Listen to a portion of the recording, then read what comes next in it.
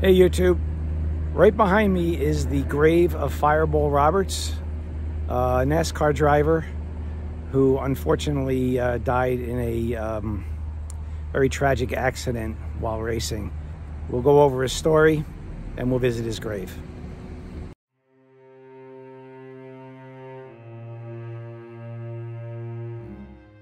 Edward Glenn Fireball Roberts was born on January 20th, 1929 in Florida. At a young age, he was interested in both auto racing and baseball. He was a pitcher for the Zellwood Mudhens and earned his nickname Fireball because of his fastball. He raced on dirt tracks while in college, and in 1947, he raced on his first Daytona Beach course. The next year, he won a 150 mile race at Daytona Beach. As NASCAR was moving from short dirt tracks to super speedways, Fireball Roberts continued to win races. He won the Daytona 500 and the Firecracker 250 in 1962. May 24, 1964 was the date of the World 600, now known as the Coca Cola 600. This event took place at the Charlotte Motor Speedway in Charlotte, North Carolina. On lap 7, Ned Jarrett and Junior Johnson collided and spun out in turn 2 and into the backstretch. Jarrett's car spun and hit the inside wall on the backstretch, and the sparks from dragging against the wall set his car on fire. Roberts tried to avoid the wrecked cars of Jarrett and Johnson but could not and he spun into Jarrett's car, causing his car to also burst into flames. At this time, Robert's car was upside down and burning, and he was trying to climb out. Ned Jarrett ran over and helped pull him out. Roberts suffered second and third degree burns over 80% of his body, and he was airlifted to the hospital in critical condition. There was some hope that Roberts would recover, but six weeks later, on July 2, 1964, Roberts died from his injuries after developing pneumonia and sepsis. He was only 35 years old. And we are coming up on the grave of Fireball Roberts.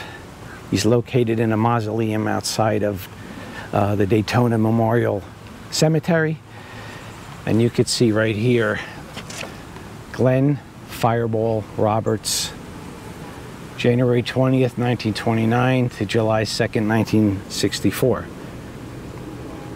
In his 15 year career, he had 33 wins, 122 top 10s, and 32 poles. He was named one of NASCAR's uh, 50 greatest drivers. He was inducted into the Stock Car Racing Hall of Fame in 1965 the International Motor Sports Hall of Fame in 1990, the Motor Sports Hall of Fame of America in 1995, and of course the NASCAR Hall of Fame in 2013. Uh, he was only 35 years old at the time of his death. He did not win a championship, but he's been basically named like one of the best uh, NASCAR drivers who uh, who's never won um, a championship. His racing career obviously was cut short um, by a terrible accident. Uh, he was he was severely burned and um, you know lingered on for a, a few days or a few weeks. Unfortunately, he did pass away from his injuries.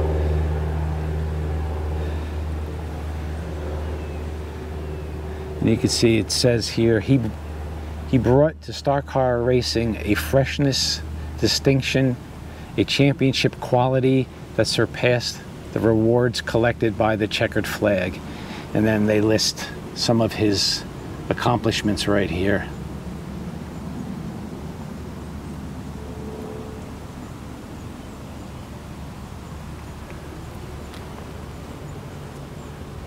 Okay, gang. Um, I'm gonna gonna call it right here, but um, I appreciate everyone watching.